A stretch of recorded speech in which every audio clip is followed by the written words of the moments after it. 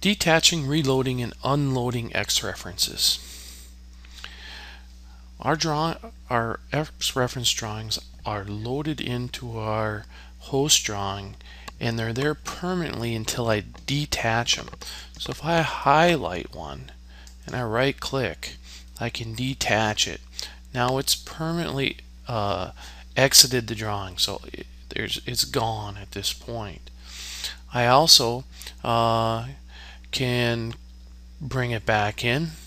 Uh, I can come in here and attach the DWG and I can bring in uh, any particular file and say OK and I'm going to put it in at 0 comma 0 and I could also unload a file.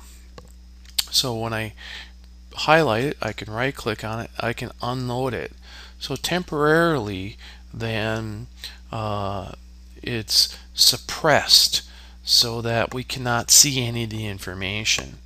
If I want to bring it back and reload the up X reference back into the host, I can just right click and say I want to reload. And, uh, and I can also come in here and reload this one as well.